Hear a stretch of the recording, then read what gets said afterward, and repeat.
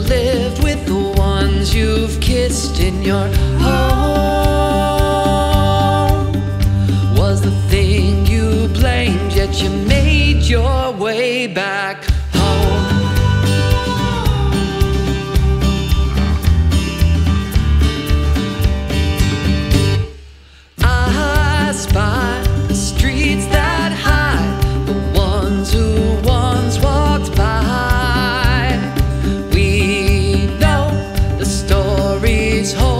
the past of those unknown. Story